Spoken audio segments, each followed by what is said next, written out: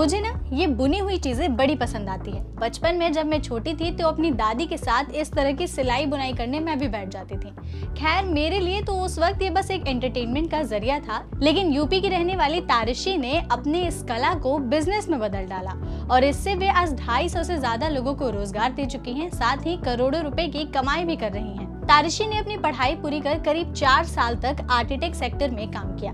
इसी बीच उनकी शादी भी हो गई और साल 2015 में उन्होंने एक बेटी को जन्म दिया। बच्ची के लिए तारिशी की सास ने खुद से बुनी हुई फ्रॉक तैयार की।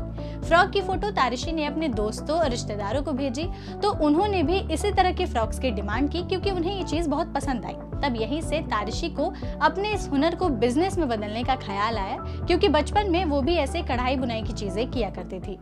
आज की जनरेशन को इस कला का इतनी नॉलेज नहीं है।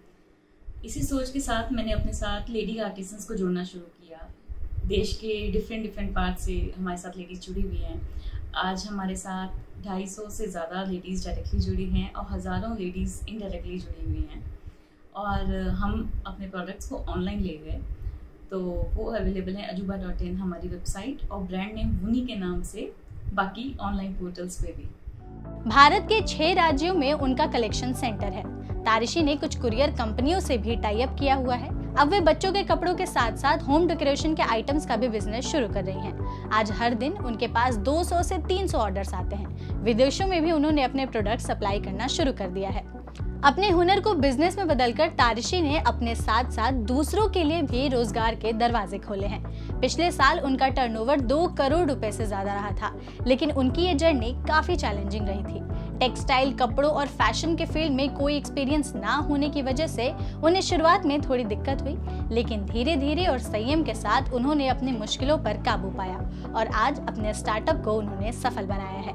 तारिशी का कहना है कि एक्सपेरिमेंट से नहीं डरना चाहिए। हमेशा कुछ नया ट्राई करते रहना चाहिए। क्योंकि कब एक छोटा सा आइडिया आपके लिए बड़ा बन जाए, कोई नहीं जानता। जब जो होना होता है, तब वो हो करके ही रहता है। इसलिए मेहनत करिए और कभी भी निराश मत होइए। तो आप भी तारिशी की इस कहानी से सीख लीजिए और कुछ नया ट्राई करने से बिल्कुल मत घबराइए। और ऐसे ही और भी स्टोरीज के लिए दैनिक भास्कर से जुड़े रहिए। शेयर और डाउनलोड करें दैनिक भास्कर ऐप